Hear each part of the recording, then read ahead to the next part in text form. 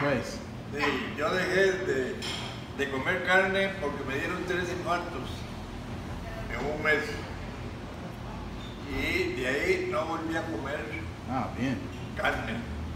Sí, nada que venga los animales, ni queso, ni natilla, ni nada. Yo tenía lechería y tenía lanchera y de todo, todo lo, lo Sí. quité. Muy y bien. no volví a comer carne. Y gracias a Dios a eso, todavía está funcionando. Y es vegano. Y es vegano.